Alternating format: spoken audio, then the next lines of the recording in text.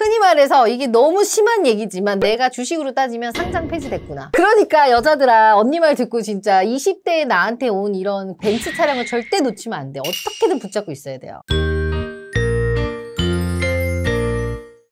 네. 대표님이 결혼에 관련해서 진짜 많이 얘기를 하시잖아요. 아, 하죠. 많이 하죠. 그럼 이걸 사람들이 많이 볼 텐데 네. 다들 보면서 느낄 거 아니에요. 아, 저래가 음. 결혼하기 어렵지라고 하는데 음... 실제로 왜 막상 30대에 결혼 안 한 여자들 왜 이렇게 많아요? 왜 많겠어요? 20대에는 뭔가 어떻게든 내가 30대가 되면 결혼은 해 있겠지. 내가 뭐 결혼을 해서 웨딩드레스를 입고 있겠지. 애엄마가 되어 있겠지라는 이상한 착각을 좀 하는 것 같아요. 왜냐면 저도 20대에는 어 나는 어떻게든 결혼을 하겠지라고 생각을 했었거든요. 근데 서른이 넘어가고 나서는 이러다 결혼 못 하겠는데 라는 생각으로 바뀌었거든요. 진짜요? 예. 이런 생각들을 하는 것 같아요, 여자분들이. 그러다 시기를 놓치는 거예요. 그래서 오늘은 제가 30대 여자분들이 이렇게 비혼주의가 돼가는 과정에 대해서 한번 이야기를 한번 해줘 볼게요. 요즘 주제 민감한데요? 민감하죠. 그래도 현실적으로 톡톡을 좀 날려야겠습니다. 싫어하실 것 같은데. 듣기 싫어도 들어야 돼. 우리 현실과 마주해야 됩니다. 첫 번째예요. 여자는 특히 33살이 넘으면서 사람들과의 연결고리가 끊어진다입니다. 그게 무슨 말이죠? 대부분 여자분들이 결혼을 많이 하는 시기가 30대 초반 그리고 이제 그 시기에 안 하면 30대 중반 아니면 40대 30대 후반 뭐 이럴 때인데 여자들이 한 32, 33 정도 되면 주변에 결혼한 친구들이 절반 정도 돼요 아닌 친구들도 요새는 많겠지만 결혼을 많이 하는 집단의 여성들은 그 정도 나이 때면 이제 남자친구가 혹은 있거나 결혼을 안 했더라도 그러다 보면 나랑 어울려 지내던 그 무리의 친구들이 조금 조금씩 사라져가죠 가정이 생기면서 그렇죠. 어떤 친구는 가정이 생기면서 사라지고, 어떤 친구는 아이를 낳 으면서 사라지고, 어떤 친구는 남자친구랑 둘이 있으면서 이제 나하고 만날 시간이 없이 사라지다 보니까 나 혼자 있는 시간이 너무 많아지는 거예요. 제가 딱 이랬어요. 33, 4 정도에. 아, 대표님 같은 미모가 있어도 네. 제가 가장 활발하게 활동했던 시기가 24살부터 딱 그 30살까지 시기였던 것 같아요. 진짜 미친 듯이 만났던 것 같아요. 아니 근데 그게 한두 살 더 먹었다고 그게 아, 어, 완전 달라, 완전 달라. 서른이 딱 넘어가는 순간 그냥 나는 확 꼬꾸라지는 느낌이 그냥 확 들어요. 이거 여자들 너무 싫겠지만 진짜 그래요. 그게 체감이 여기 어디 어, 체감 딱 돼. 남자들이 돈을 일단 덜 써. 근데 딱 서른 딱 되잖아요. 그때 되면 이제 남자들이 슬슬 이제 뭐라고 얘기하냐. 아까 그 제가 얘기했던 그 연하남도 너가 좀 내야지. 이런 얘기들을 이제 그냥 대놓고 해. 친구들하고 만나면 이제 뭐 친구들이 밥 먹고 돈 안 내고 하는 친구들도 있어요. 같이 이렇게 여럿이 만나서. 그러면 이제 나중에 야, 네 친구들 왜 그래? 네가 좀 내야 되는 거 아니야? 뭐 이렇게 좀 사고 방식이 바뀐 남자들은 또 대놓고 얘기하기도 하고. 그러면서 저는 이제 좀 깨우쳤죠. 아, 여자도 돈을 내야 되는 거. 그럼 대표님 그 활동 시기가 있었잖아요. 이거 갑자기 왜 내 고백사가 됐냐? 결혼할 기회가 많았는데 왜 많았지. 제가 예전에도 한번 얘기했지만 26살 때. 하, 그 지금 그 오빠가 참 그 사업도 아주 크게 하고 잘 나가는 진짜 부자가 됐더라고요. 막 거기 아파트만 지나가면 아직도 속이 아픈데 그분이 저한테 그랬어요. 26살 때 딱 저한테 하는 말이 야 너는 그냥 일하지 말고 집에서 꽃꽂이하고 오빠가 다니는 교회나 같이 다니자. 근데 그 말이 그렇게 듣기가 싫었어. 그러니까 미친 거죠. 왜냐? 야, 나 너 아니어도 이럴 남자 많아. 너만 나한테 이런 거 아니야. 난 또 그럴 남자가 많아. 이런 착각에 빠졌어. 왜냐하면 그때는 그 오빠 말고도 다른 문어발의 오빠들이 또 있었기 때문에 그런 고백을 직접적으로 한 사람들은 아니지만 혼자 상상을 한 거지. 아, 이 오빠도 나한테 이렇게 얘기했으니까 저 오빠도 나한테 얘기할 거야. 그래, 저 변호사 오빠도 나한테 이렇게 얘기할 거야. 이런 식으로 상상을 했던 거야. 그래서 너 아니어도 나는 3년, 4년 후에도 얼마든지 좋은 남자 만나서 갈 수 있어. 라는 희한한 착각을 한 거죠. 왜냐, 그때만 보니까. 그 순간만 살았으니까. 콧대가 저 하늘 위로 찔렀었죠. 미안합니다. 근데 더 충격인 거는 그 오빠가 결혼을 할 때 16살 연하랑 결혼을 했다는 거죠. 16살이요? 네. 대표님도 지금 어린 거 아니에요? 네, 맞아요. 충격이죠. 그러니까 16살의 연하가 결혼을 할 만큼의 재력이 있었던 오빠였던 거예요. 지금 생각해보면. 미친 거죠, 저는. 대략적으로 얼마 정도 재산을 가진 지금 따지면 곱한 100억 넘게 있을 거예요. 100억이요? 예. 제가 알기로는 그때 당시에 여기 강남에 아파트를 한양 분양받았다 그래서 5억인가 주고 분양받는데 그게 지금 한 30억인가 됐고요. 그리고 나서 그거를 점핑 한번 해서 설해마을에 또 빌라를 또 하나 구매를 했고 회사도 뭐 사업체를 운영해서 지금은 몇백억의 매출을 올리고 있는 CEO가 됐더라고요. 그래서 뭐 그렇죠. 그렇습니다.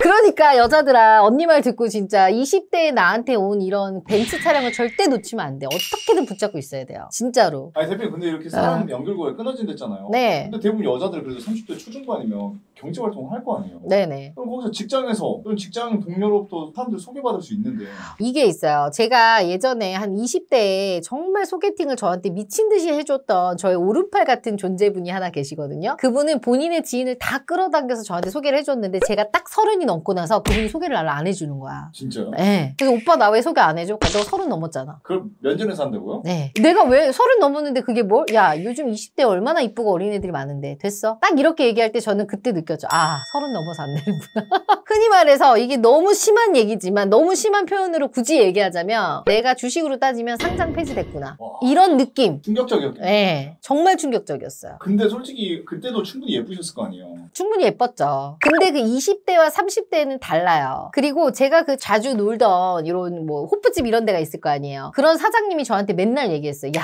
진짜 너 20대 예뻤는데. 그 30 딱 되고 나니까 저한테 그 별거 차이 얼마 안 나. 내가 그 24살 때부터 다녔던 곳인데 20대 너 진짜 예뻤는데. 그래서 내가 아니 뭐해? 나 똑같지 않아? 아니야. 너 달라. 느낌이 달라. 이 얘기를 하더라고요. 아, 다르구나. 그때 느꼈죠. 그 풋풋함이 다르다 그 말 아니었을까요? 그러면 이렇게 이제 연결고리에 사라지잖아요. 네. 결국 오는 게 지금 대표님이 하시는 사업처럼 음. 결혼정보회사가 있잖아요. 아우, 그럼요. 결혼정보회사 보면 결혼할 수 있는데 그게 쉽지가 않나 봐요. 이제 또 결혼정보회사에 왔는데 또 나 같은 매니저 만나면 또 기가 또 죽어서 가는 거야. 왜냐면 일반적으로 결혼정보회사에 가면 뭐 서른다섯, 서른여섯이어도 아, 너무 예쁘세요. 그냥 뭐 다 해드릴 수 있어요. 원하는 여, 동갑, 연하 다 해줄 수 있어요. 이런 매니저를 만나야 되는데 이제 또 나 같은 매니저. 너 지금 나이가 몇 살인 줄 아냐. 조율해야 된다. 현실을 알아야 된다. 20대 여자들이 얼마나 지금 많은 줄 아냐. 너랑 경쟁 상대다. 이런 얘기를 해버리면 이제 초쳐서 가는 거죠. 그러니까 이제 저 같은 경우는 현실을 바로 알게 하고 거기에 맞게끔 컨설팅을 해주는 거고 이제 그렇지 않은 곳들은 이제 막 사탕발림식의 발언들을 할 거 아니야. 어 너무 뭐 예뻐요. 다 해줄게 해놓고 한상 심어주고 시간만 가게 하는 거죠. 그러니까 그렇게 할 것인가 아니면 저같이 현실적으로 얘기해 주는데 와서 그냥 조금 기분은 불편하고 좀 더러울 수 있지만 마주치고 현실과 타협을 할 것인가 그거는 이제 결정을 하셔야 되는데 대부분 저처럼 듣기 싫은 소리를 하지 않아요. 그렇다 보니까 어때요? 결혼정보 회사에 가기도 해. 30대 초반에. 그래서 가서 돈 많은 오빠 이런 오빠만 만날 줄 알고 그런 사람만 소개받다가 이제 서른다섯, 여섯, 일곱 돼서 끝까지 못 만나고 이제 아 난 결혼정보 회사 안 해. 이러고 이제 가시는 거죠. 모임으로 다른 모임으로. 대표님, 그럼 지금 보세요.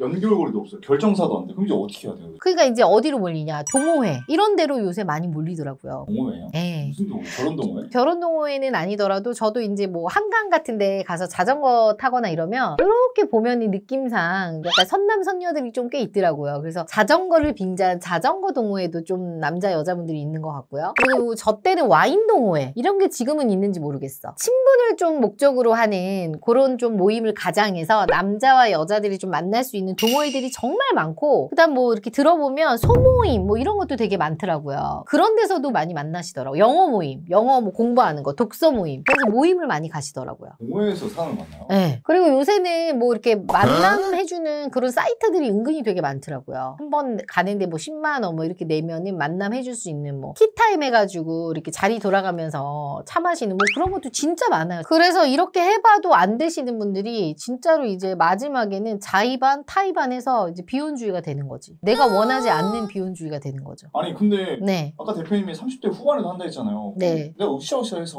노력만 하면 될 수 있 는 거 아니에요? 결혼은? 그러니까 이런 거예요. 약간 현실과 타협할 준비가 된 여성분들은 오셔도 그냥 저희하고 어떻게든 얘기를 해서 거기에 맞춰서 소개를 받아. 그러니까 뭐 다섯 가지 원하면 한세 가지 내려놓고 두 가지만 보는데 이게 안 되시는 분들은 듣기도 싫은 거야. 아니야. 나는 끝까지 내가 지금 서른여섯이지만 나는 스물여섯이야. 이런 마인드를 가지신 분들은 여기도 안 되는 거야. 그러니까 모임으로 이제 가시는 분들도 그런 분들이 은근히 많다는 거죠. 그래서 이제 모임에 가서 그 연하들이 이제 조금 들이대거나 약간 이러면 이제 또 내가 20대 나다. 아직 죽지 않았어. 또 이런 마음 으로 8살, 7살 연하들이랑 또 만났다가 헤어져서 또 저희 쪽에 오시고 이런 여성분들도 은근히 많이 봤습니다. 무한 루프네요. 무한 루프예요. 그래서 보시면 막 이래요. 어, 저 밖에서는 언니 5살, 6살 연하도 만났었거든요. 그런 얘기들 오셔서 많이 하시거든요. 그거는 모임이니까 가능한 거고 저희는 색깔이 다르잖아. 확실히 다르네요. 모임에서는 그냥 눈만 그럼. 눈만 맞으면 모임에서는 그냥 뭐 만나서 뭐 뽀뽀도 할 수 있고 다 할 수 있잖아요. 그러고 나서 얘랑 한 6개월 연애해서 봤더니 얘가 진짜 한 달에 진짜 돈 너무 못 버는 완전히 뭐 백수 같은 남자일 수도 있는 거고. 속이려 들면 뭐 알 수가 없는 거잖아요. 유부남일 수도 있는 거고. 그런 분들 전 많이 봤어요. 실제로 있겠네요. 있어요. 또 어플 같은 경우도 만나서 낭패 보시는 분들도 은근히 저는 많이 봤어요. 유부녀 만나고 오신 남자들도 봤어요. 유부녀요. 유부녀. 그렇게 어플이 또 그런 분들이 은근히 또 있더라고요. 그런 거 보면은 결정사는 나름 신분을 그렇죠. 보장해주는 거니까는 그렇죠. 좀 낚이는 위험도가 아무래도 결혼정보회사는 그래도 혼인관계, 가족관계 이런 걸 다 법적으로 저희가 보호를 다 하고 소개를 해드리는 거기 때문에 이 사람이 그걸 속이면 법적으로 처벌을 받아야 되잖아. 그렇기 때문에 오시는 거지. 돌고 돌다가. 결혼정보회사에서는 한방 대표님의 정신교육만 버티면 결혼할 수 있겠네요. 그렇죠. 저희 잔소리만 들으면 버틸 수 있습니다. 제가 뭐 방송에서 나이가 중요하다, 뭐 한다, 이렇게 해서 정말 나이에 꽂혀 있는 분들이 굉장히 많은데 이게 중요한 게 아니야. 가장 중요한 본질적인 거는 이 사람이냐 아니냐가 중요한 거예요. 아 나이가 중요한 게 아니라. 나이도 물론 중요하지만 더 중요한 건 이 사람이냐 아니냐. 아까 그 대표님 말한 26살 많은 오빠냐 아니냐. 그렇지. 나한테 왔던 그 사람이 진짜 나를 빛내줄 그 남잔지 아닌지를 그거를 보는 센스, 안목이 필요한 거예요.